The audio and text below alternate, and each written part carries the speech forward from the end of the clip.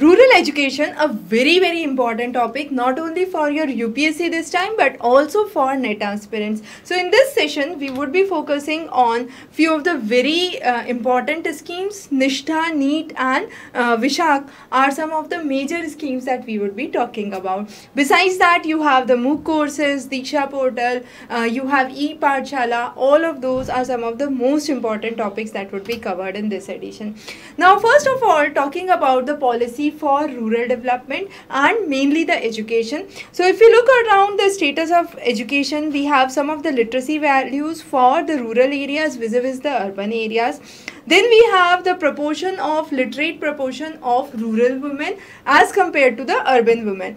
So definitely there has been a huge divide in terms of the rural and the urban population that is seen also if we look on to the computer and the internet you have a higher proportion of people in the urban area with nearly 29% of the proportion who, of people who have facility to a computer in contrast to only 6% in a rural area. So department of school education and literacy higher education uh, uh, are some of the departments which are working to achieve those.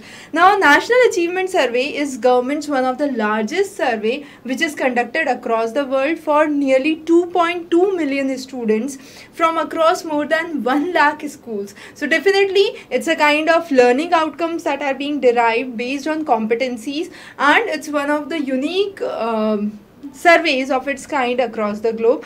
Now talking about the various categorizations of school, you have Jawahar Navodaya Vidyalaya. Jawahar Navodaya Vidyalaya are the schools based in the rural area where you have talented students who are actually picked up from the class 6 to 12 and they are uh, given a kind of education in the Jawahar Vidyalayas. So those are a very very important aspect of it. Under the Samagra Shiksha Abhiyan, we are talking about expansion of the Jawahar Navodaya Vidyalaya. We are also talking about Eklavya residential model schools, digital initiatives and according to it.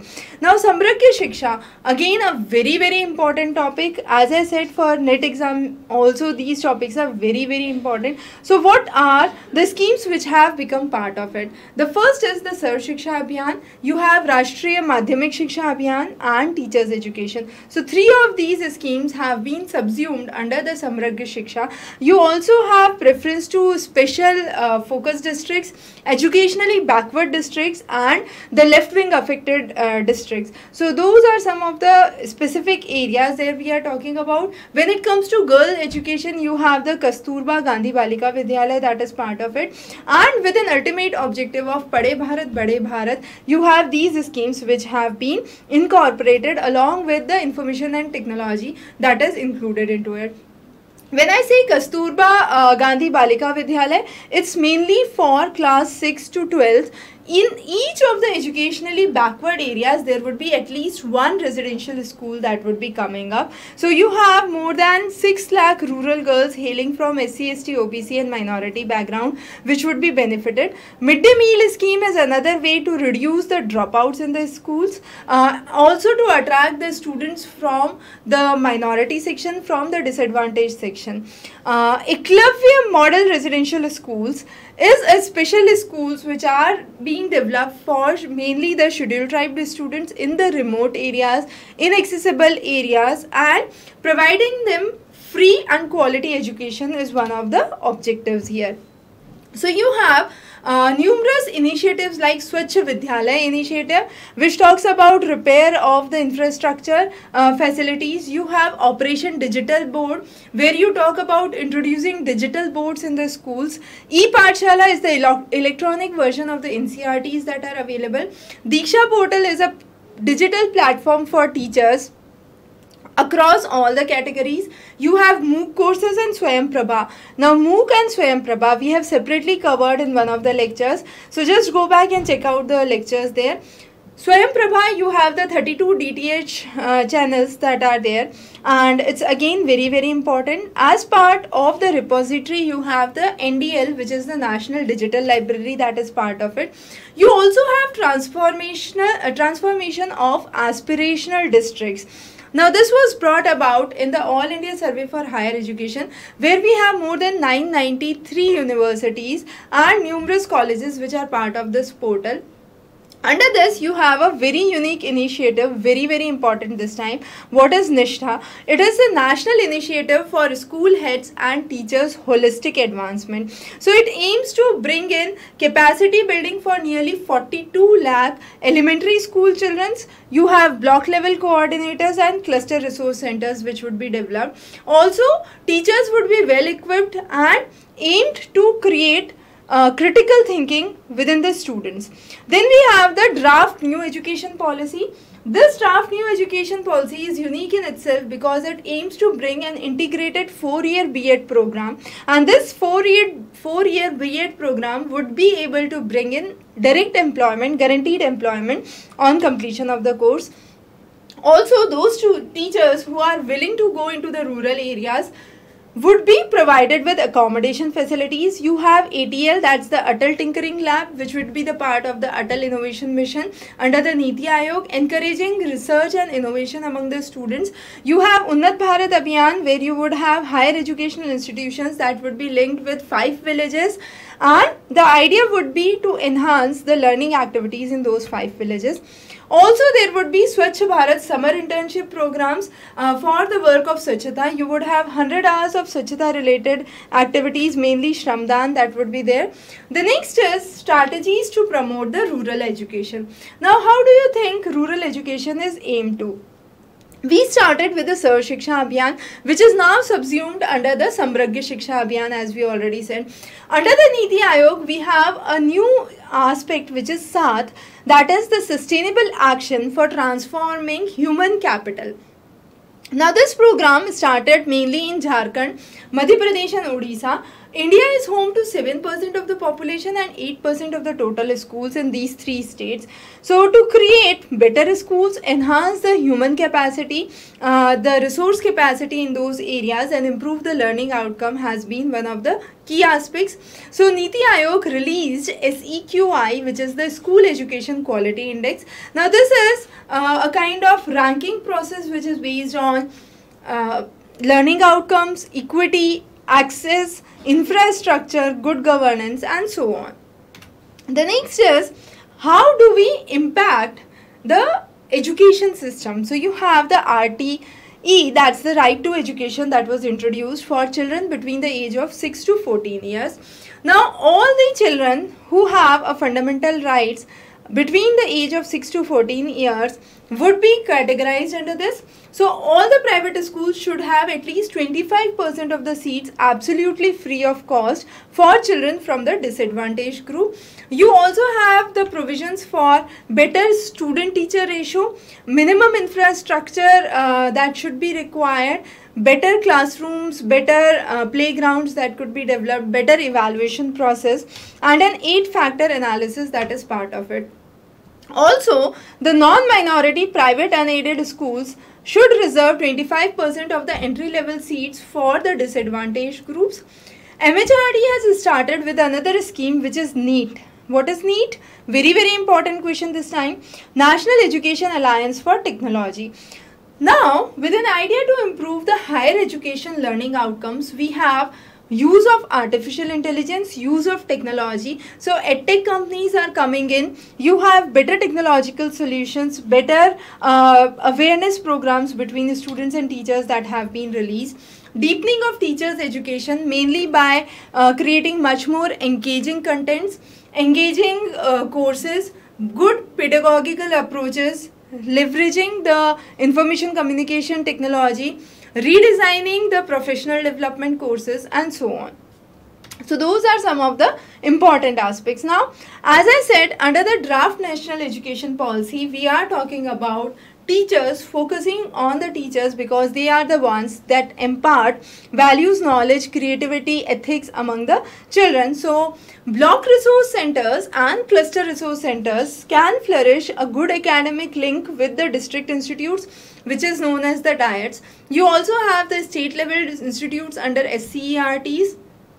Improving the quality of teachers and teaching education is another important aspect that has been picked up. Country has nearly 10 lakh teacher vacancies. So uh, in some of the ratio uh, some of the areas the ratio of teacher to student is very very poor. So it's 1 is to 60 a very very poor ratio with one teacher on 60 students. Again you have financial issues which comes in the form of salary promotion retirement benefits. So how the efficacy could be improved.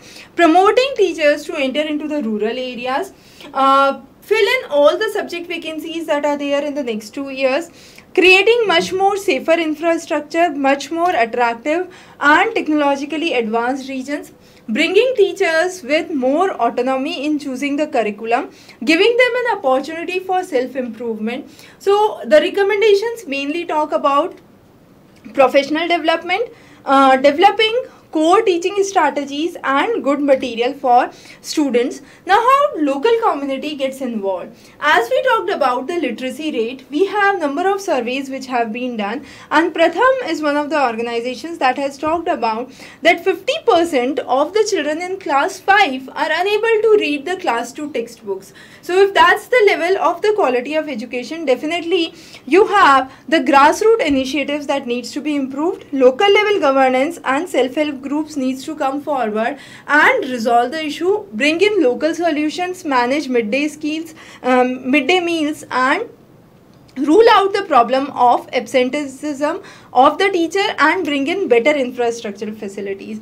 So when it comes to teachers uh, education, there can be two types of training institutes that could be uh, coming up. Two year training for those who have taken the school leaving certificate, one year training for graduate students and then under the recommendation that was given under the National Policy of Education 1986, you had teacher under the pre-service and in-service components which are inseparable. Then you have more thrusts that were uh, created mainly for new structures, strengthening the existing education systems and appointing teachers training. So you have the Nishtha scheme that we have already talked about which aims to bring about the enhancement of 42 lakh teachers headed by NCERT and NIPA uh, you also have revised norms with 15 teacher education programs that had talked about under the J.S. Verma committee reports. Pandit Madan Mohan Malviya scheme on National Mission of Teaching was initiated in 2014 and talks about improving the quality of teachers and professionalism.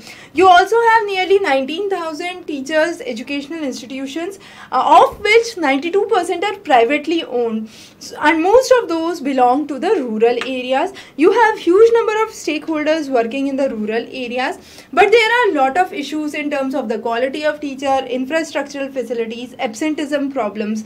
You have uh, the dropout ratios, availability of the teacher, better professional development courses that could be introduced.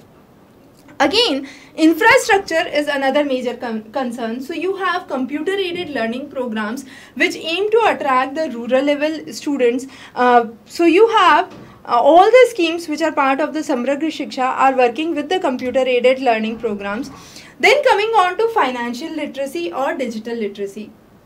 When I say digital literacy, the idea is to bring people or make people much more comfortable with technological solutions. So it could be mainly in the form of banking where you have UPI, BHIM that has been introduced. You have ideas of financial independence that have been created, opening of bank accounts, prevention of indebtedness, prevention of exploitation by the landholders, behavioral changes that could take place, financial markets and the national education for financial uh, education is another important aspect which is part of the financial education system. Bank account, insurance, retirement saving plans are again important. So under the financial solutions you have saving, spending, insurance and managing debts that are really important. So some of the important platforms for digital literacy include Digital India platform direct benefit transfer you have Aadhaar scheme. Sugamya Bharat is important which is specifically meant for specially able children. You have agri market app for agriculture and the farmer uh, to get reinforced with. Cyber swachhata kendra BHIM and upi as we already talked about. Vidya uh, sans, uh, Saksharta Abhiyan, which is also known as Vishaka, is a very good initiative of MHRD where you are trying to bring in uh, cashless transfers to all the higher educational institutes and the educational institutes. So encouraging people to pay on a cashless basis is the Vishaka scheme. Very, very important. You also have many more uh, schools, pilot schools that are coming up, which are working on very, very different and varied models. So those are some of the very important topics that have been covered in this Kurukshetra. And as I mentioned, this Kurukshetra is highly important for students preparing for your NET examination with higher education as one of the focus along with those preparing for UPSC. We will be bringing the coverage every uh, monthly so stay tuned have a wonderful day ahead.